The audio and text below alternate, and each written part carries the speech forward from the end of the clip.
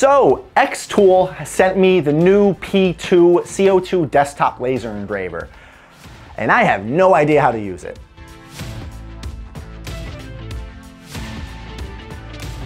Hey guys, welcome back to the channel. My name is Frank, and if you're new here, it's because you saw a desktop laser engraver thing overview and unboxing. Um, right out of the gate, I have no idea what I'm doing with this. Xtool reached out to me, they're like, hey, we think this would be a great fit for your channel. We wanna send you a little bundle. So they sent me the P2. It is, uh, I, have to, I have to read this. It is the P2 all-in-one bundle, which includes the X2, Xtool P2, I'm gonna butcher that this whole video, um, the RA2 Pro 4-in-1 rotary, so I, I, I, guess it cuts things too. The smoke purifier, which is down there. Um, you probably see it on the screen right now. Free fire safety set, auto conveyor belt feeder, that's kind of sick. Um, some materials and a riser base.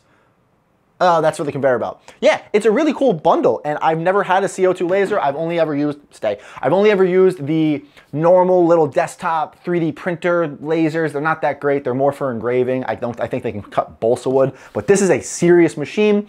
Um, hopefully my folding table doesn't give out, and I'm 99% sure I can use this inside. I have ventilation in the smoke purifier. So it has some materials. So we're gonna get it unboxed and we're just gonna build it and see what we're looking at and see how easy it is to set up. Um, the only only benefit I have is I'm very familiar with 3D printing and that type of technology. So maybe the user interface will be something similar. I have literally no idea. Let's jump right in.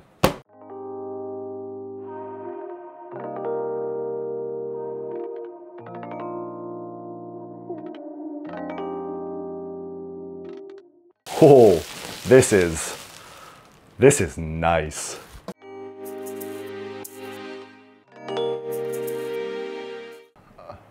It needs antifreeze? Okay, so we got it out of the box. Don't want to talk about it. This thing is gorgeous. This thing is so freaking nice. Um, comes with a little bit of test blocks and wood. Looks like balsa wood and cardboard. Um, it comes with antifreeze. That's a good thing. I was worried about that. Uh, it's clear, so cool. That has a little vent over here, or like um, a expandable tube. It's got some cables, got some Allen key. Oh, here's the screwdriver I need. Some desiccants, and oh, a funnel to pour in the antifreeze. I've never seen a CO2 laser up close, um, but there's a huge big bulb in here, and if there's any damage on it, don't use it. I think that probably goes without saying. Fill the water tank with antifreeze. You need to prepare a measuring glass to measure purified water. I gotta do math? Wait, I don't have purified water. Okay, we're back. I got purified water and a measuring cup. Upon reading the instructions, read, read your instructions, folks, I can now see that I'm a, li a little over-exaggerated a little bit. Um, yes, you are supposed to fill it with antifreeze if your average annual temperature is below like 10 degrees below Celsius, blah, blah, blah. I'm in North Carolina.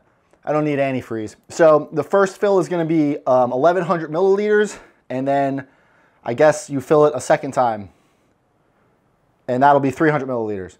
So yeah, um, let's do that.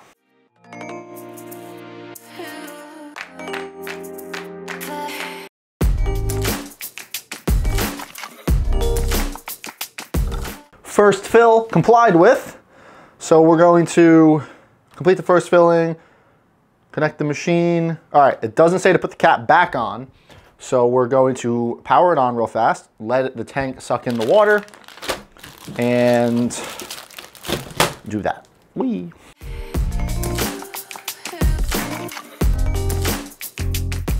Okay, we're gonna put the cover back on, install the exhaust pipe. I'm gonna open up the air purifier thingamajiggy, and then I think the next thing will be like trying to cut something.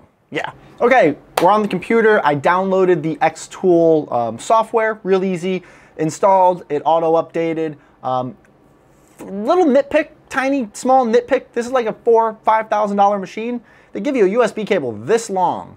Um, now I might be able to go back through here and hook it up to Wi-Fi, I think, but for that initial setup, I, I don't know, this is gonna be in somebody's garage or workshop. There might not always be a computer around it, but that's just a small nitpick. I have a USB cable extension. Um, I have a piece of three millimeter balsa wood this came with a little test, little test thing. Yeah. Oh, I didn't actually, I didn't actually realize.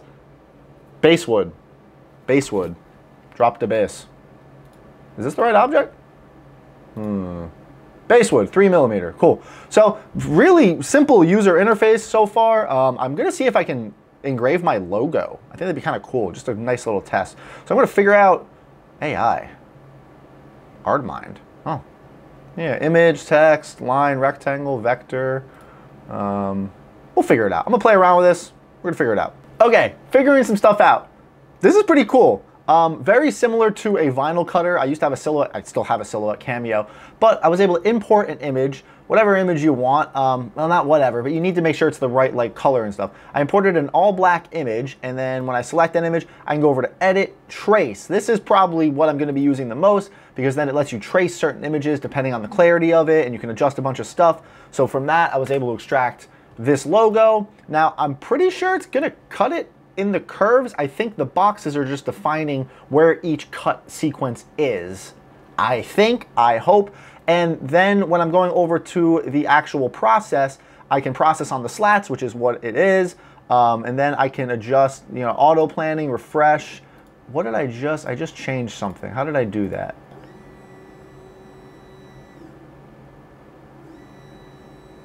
It's moving. I don't know what it's doing. Oh, it goes in, it's taking a photo of the board. We're learning, we're learning. So we wanted to put it there. Obviously I need to be able to see the material that I have chalked up. So we'll do something like that. And then I can go, this was really cool. I can choose score, engrave, or cut um, based on the object. And then user defined settings, I'm gonna go to reference, but you go to the panel and it shows you the depth of like how do you want it? Do you want it to be like a light scoring or a heavy scoring? Like that's that's really cool. So we'll just do we'll do one right in the middle. Um, so it just auto adjusts all this. That's that is so. I don't even know. I don't know what I'm doing. Um, so that's really cool. Pin the easy set panel. Sure, yeah. Honestly, outline. Oh, I can ungroup things. I don't want to do that. But theoretically, I could then break this up. But let's say we just let's just let this rip and see what happens. Um, I'm closed up. The exhaust fan is on. I have a little air purifier right there and the vent going out. If it starts to smell too bad in here, I, I guess I'll open a window or move it, but hopefully it's not too bad. It should just smell like some burning wood. Let's do it.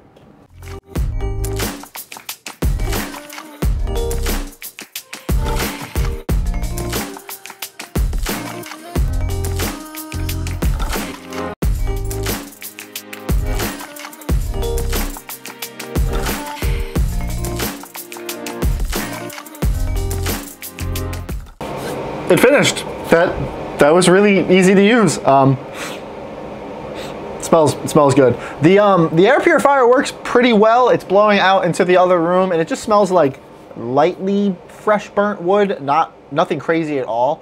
Um, but uh, I've definitely I, I definitely got to read up a little bit more on like the fumes and everything and just how good the air purifier is and what it's actually meant to filter out. Um, I have animals and stuff and I don't want to risk anything bad happening, you know. Um, but uh, yeah, really, really sick to use.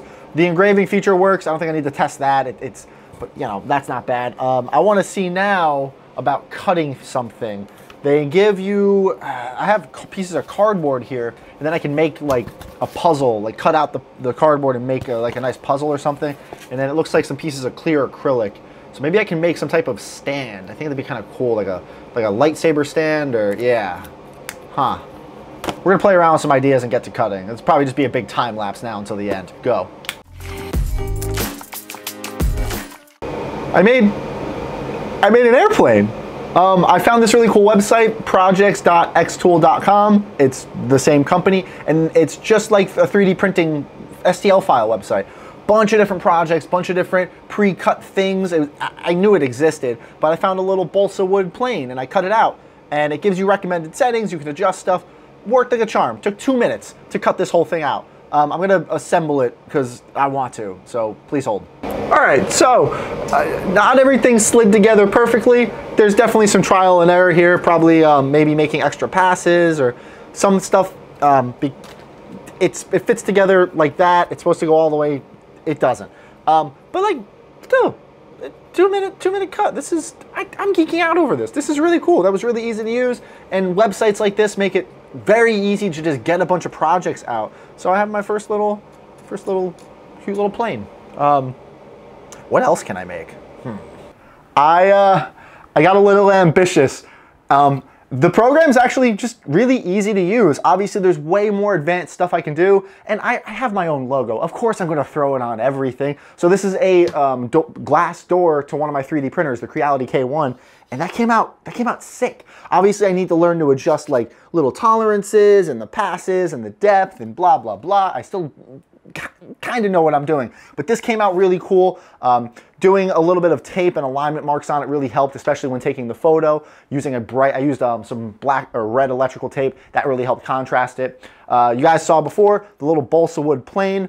This is, this is cool. It's cool I was able to do this in like two or three minutes. Um, I could probably, probably just pump out a hundred of these super, super easy. I have no idea how cheap this bolt, three mil balsa wood is, but like, it can't be that expensive. Not that I think these wood planes are still a hot commodity nowadays. You already saw the Frankly Built logo, but I think the coolest little test I did was on this acrylic, um, this, this piece of acrylic. Uh, so I had it cut the circle, but that was after. Now I couldn't figure out in the, I guess the program predetermines that, which was neat. So I did the engraving on the logo, and then the final pass was the cut. I guess it just, it'll always do the cuts last. I wonder if there's a way to like make it so you can arrange and pick. Um, I'm still learning. If you if you look up close, you can see some of the burning around it. I, again, trial and error, but at a distance, I, I like it. And the reason I wanted to test this is because of that. Look at that. It worked like it worked. It worked perfectly. I can make like cool acrylic signs now. That's so sweet. Um, it does look like it's better on the back. It's, it's it looks it's a better light dispersion on the back instead of the engraved side. That's probably, I probably would just flip the logo. But yeah, this looks, this is so cool. And like, even, even with well lit, you can still see that it's, it's, it's, it's glowing. Um, and now combined with you know, I know how to use LEDs, I know how to do that type of stuff, obviously the Iron Man suits. So I can use LEDs, I can model and 3D print bases for all these, like I can make some really cool helmet stands now. I can make um, LED eyes, this machine can do curved surfaces and engrave curved surfaces within reason. So now I can make like cool acrylic eyes and attachments and stands and bases. It just, I really wasn't thinking about everything I'd be able to do with this until I started just letting my imagination run wild. And like, this is just the beginning. Thank you again, Xtool, for sending me this machine to start using in videos and try out. Uh, if you guys are interested in it, check the link down below. Uh, it's a really, really easy setup machine. I mean, I had it running within a few hours and honestly, it was just me learning how to use the program. Uh, I definitely need to do more research into setting up a safe environment for it, getting it into the garage. The air purifier worked absolutely great. So whatever bundle you're looking at, um, I guess they didn't send me the bundle I thought they did, and that's that's fine. I totally get it. Um, but they do have a conveyor belt system so you can pass through materials and you guys can go research all that if you, if you want. If you liked the video and you liked what you saw, please consider subscribing to the channel. It uh, keeps you up to date on all the videos I have coming out. And now that I have a really cool laser cutter, it's a freaking laser, I'll uh, be featuring it in more videos and just doing more, more interesting stuff with it. Yeah, katana stands, helmet stands. Ah, yeah, the sky's the limit. But that's gonna be it for this video, guys. As always, thank you so much for watching. You have a good day.